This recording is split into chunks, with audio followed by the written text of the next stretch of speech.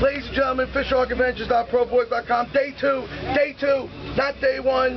Two. Day two. Two. Captain Eric Morrow is here. Captain Eric, what have you got to say to all the people who missed this trip because of bad weather conditions? Meow. Meow. Are you trying to say that they are some pussies? Meow. Being politically correct. Thank you, Captain Eric, once again for joining us. Thank you. Ladies and gentlemen, Matt is here today with us. He Good morning, ladies and gentlemen. How are you? Matt is here. Nothing against Kevin, but Matt is here. Slight upgrade in service. Thank you. Nick, Nick's at the wheel. Nick feels slighted that I always tell Nicole how great she is.